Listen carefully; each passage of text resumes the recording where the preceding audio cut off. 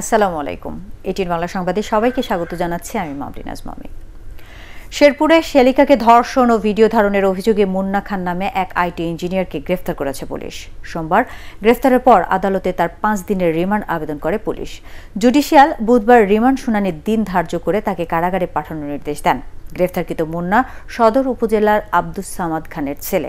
Police জানায় নিজের বাড়ি থেকে শেরপুর সদরের একটি বাসায় নিয়ে শালিকাকে কয়েক দফা ধর্ষণ করে প্রকৌশলী মুন্না খান। কয়েকজনের সহায়তায় তার ভিডিও চিত্র ধারণ করে সে। রোববার রাতে ট্রিপল নাইনে ফোন করে ঘটনাটি জানালে নির্যাতিতাকে উদ্ধার করে পুলিশ। ভিকটিম বাদী হয়ে অভিযুক্ত দুলাভাই মুন্না ও তার তিন সহযোগী সহ চারজনের বিরুদ্ধে ধর্ষণ এবং পর্নোগ্রাফি আইনে পৃথক দুটি মামলা দায়ের করেন।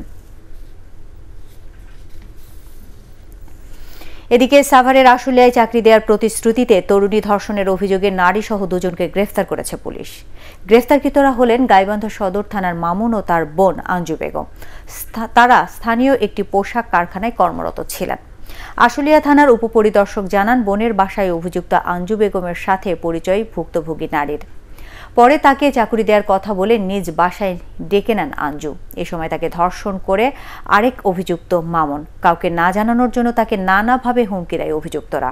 পরে পরিবারের সাথে কথা বলে রোববার আশুলিয়া থানায় অভিযোগ করেন নির্যাতিনা নারী। পরে রাতেই অভিযান চালিয়ে অভিযুক্তদের আটক করে পুলিশ। আন্তর্জাতিক। করোনা পজিটিভে দু সপ্তাহ না যেতেই নির্বাচনী প্রচারণায় ফিরলেন মার্কিন প্রেসিডেন্ট ডোনাল্ড ট্রাম্প। ফ্লোরিডায় স্যানফোর্ডে সমর্থকদের বিপুল জনসমাবেশে ভাষণ দেন তিনি। ট্রাম্প বলেন, লকডাউনের পক্ষপাতী তার প্রতিদ্বন্দ্বী জো বাইডেন।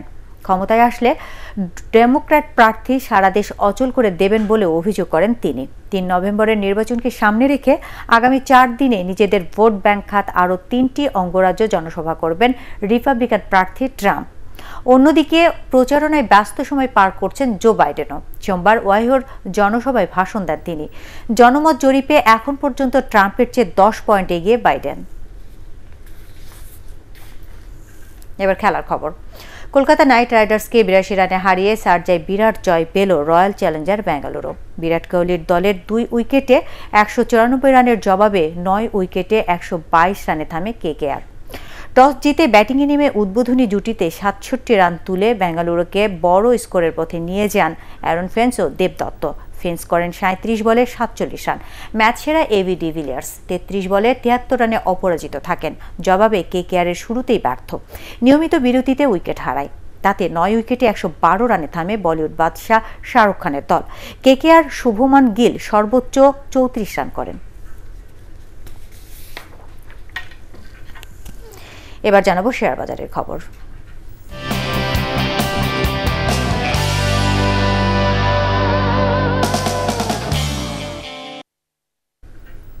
মিউচুয়াল ফান্ডকে এফডিআর এর মতো আস্থাশীল করার সিদ্ধান্ত নিয়েছে বিএসএসি মিউচুয়াল ফান্ডের বর্তমান পরিস্থিতি এবং এই খাতের উন্নয়নে করণীয় বিষয়ে বিএসএসিআর এর সঙ্গে association of asset management companies and mutual ফান্ডের বৈঠকে এই সিদ্ধান্ত নেওয়া হয়। বৈঠকে তালিকাভুক্ত সাঁত্রিশটি মিউচুয়াল ফান্ডের ব্যবস্থাপকগণ উপস্থিত ছিলেন।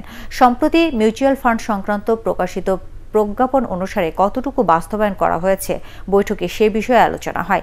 এছাড়াও মিউচুয়াল ফান্ড খাতে যেন ব্যাংকের এফডিআর এর মতো আস্থাশীল পরিবেশ তৈরি হয়, সে বিষয়ে উদ্যোগ গ্রহণ করার সিদ্ধান্ত নেওয়া হয়।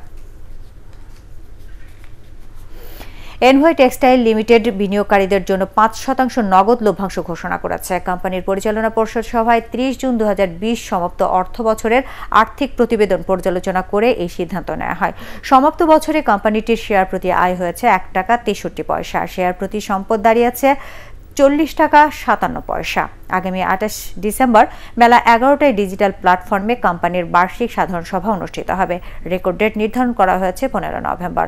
কর্পোরেট ঘোষণার জন্য আজ কোম্পানিটির শেয়ার লেনদেনের ক্ষেত্রে কোনো মূল্যসীমা নেই।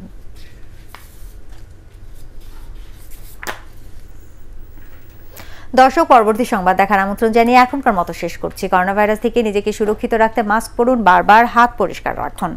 আর এটিন বাংলা সংবাদ ইউটিউবে দেখতে ব্রাউজ করুন, YouTube slash ATN Bangla news